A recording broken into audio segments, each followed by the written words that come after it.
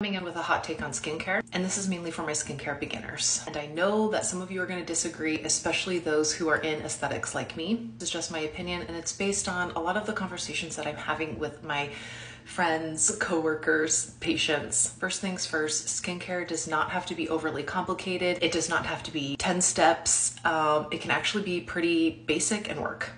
I think there's a lot to be said for choosing a cleanser and moisturizer that works well for your skin type, whether you're dry or oily or somewhere in between, and then using SPF every day, face, neck, and chest.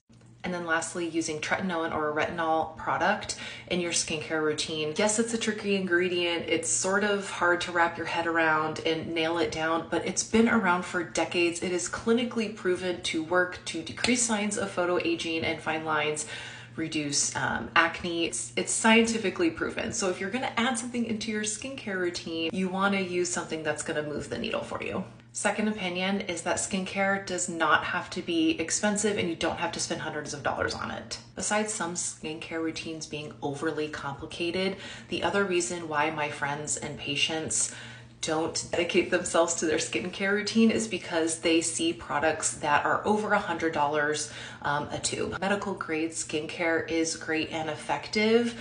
I just hate that it scares people away. You can develop a great skincare routine with products from the drugstore and Sephora. It may not work as fast, but it, it, it, will work. You just have to stick with it and be consistent AM and PM. I don't know if this is the right word, but I'm just like sensing this like elitist attitude from skincare, like, oh, well, I can't do that because she has all this time to spend on her skincare and all this money.